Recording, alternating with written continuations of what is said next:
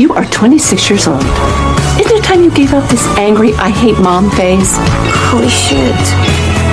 Oh, you're my mom. I could have sworn it was that brown woman who made me pancakes and read me Charlotte's Web at night. I did what was good for you. Living with a nanny while you lived in a separate apartment with that prick who thought children carried germs is for my own good. Keep blaming everyone but yourself, Nicole. Seems to be working out really well for you so far. I always miss you until you're here. And I realized, mom I must have been someone I invented when I was a kid. I don't know what more you want from me. I want you to do things mothers do.